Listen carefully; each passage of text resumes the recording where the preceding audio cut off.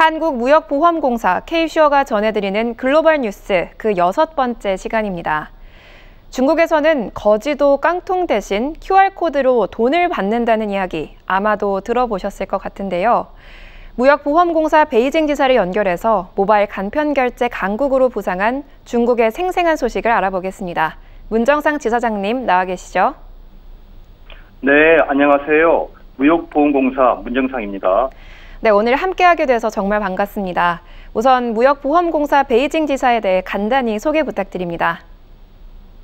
네, 중국에는 저희 무역보험공사의 지사가 세개 있는데요. 베이징 지사는 이 가운데 가장 빠른 1993년에 설립되었습니다. 당시 52억 달러에 불과했던 우리나라의 대중국 수출액은 지난해 1,558억 달러로 약 30배 늘었는데요. 저희 지사는 이 기간 우리 기업들이 중국 시장을 개척하고 안전하게 거래할 수 있도록 지원해 왔습니다. 오늘 주제가 모바일 간편 결제인데 실제 현지에서 널리 사용되고 있나요? 네, 이곳에서는 신용카드 대신 알리페이와 위챗페이와 같은 온라인 간편 결제가 보편화되어 있습니다. 저도 위챗페이를 주로 사용하고 있는데 위챗 계정에 은행 계좌를 연동시키면 어플리케이션을 통해 체크카드처럼 사용할 수 있습니다. 음식 배달이나 쇼핑은 물론 각종 공간 납부, 계좌 이체 등 일상생활에서 결제가 필요한 대부분의 것들이 가능해서 매우 편리합니다. 저의 경우 신용카드나 현금을 사용할 일이 거의 없다 보니 이곳에 올 때 가져온 지갑을 어디에 두었는지 모를 정도입니다. 네, 중국의 모바일 간편 결제 시장이 빠르게 성장하게 된 배경이 궁금한데요. 네, 여러 가지 배경이 있을 텐데요. 한마디로 요약하면 중국이 다른 선진국보다 늦게 그러나 빨리 성장했기 때문인 것 같습니다. 비교적 늦게 통신망을 구축하기 시작한 중국은 유선 인프라에 집중할 필요 없이 바로 무선망 확충 정책을 폈습니다.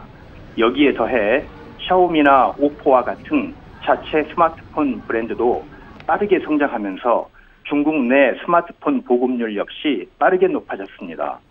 스마트폰의 빠른 보급은 수많은 통신 사업자들을 간편 결제 시장에서 경쟁하게 만들었고 중국 국민들 사이에서 간편 결제 시스템은 금세 보편화되었습니다. 온라인 결제를 이용하면 중국 내 사회적 문제 중 하나인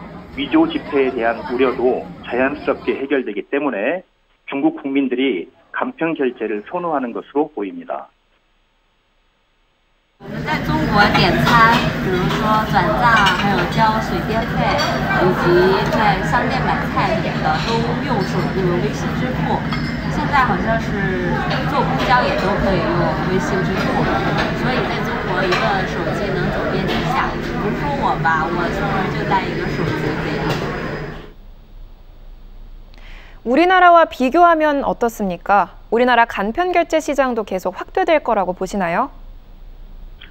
우리나라 간편 결제 시장도 빠르게 성장 중입니다.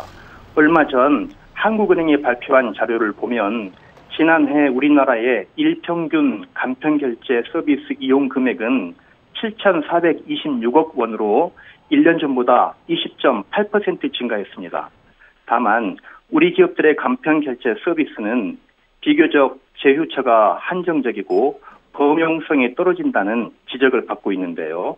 네이버나 카카오 등 수많은 핀테크 기업들이 혁신적인 서비스를 개발하며 서비스 품질을 높이고 있기 때문에 간편결제 시장은 더 성장할 것으로 기대됩니다.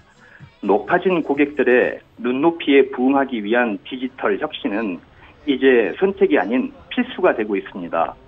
무역보험공사도 2019년에 핀테크 전담 부서를 신설하고 모바일 청약 시스템 개발, 비대면 다이렉트 보험 및 보증 등 다양한 디지털 혁신을 통해 고객들이 쉽고 편리하게 무역보험을 이용할 수 있도록 노력 중입니다.